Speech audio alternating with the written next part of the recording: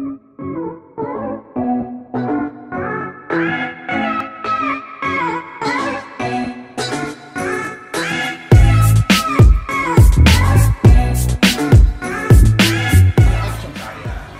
Paris dan Dewi Persik akan tampil tanggal 27 Oktober di Kopi Joni untuk somasi terbuka terhadap seorang wanita yang mencoba menjadi penyanyi dangdut tapi diduga sering mengeluarkan kata-kata diduga fitnahan antara lain dibilang bahwa Dewi Persik dadanya sama pantatnya KW-KW yang dia di bawah manajemen berinisial D ya Dewi Persik akan mengadakan somasi terbuka terhadap wanita tersebut berinisial siapa? RM.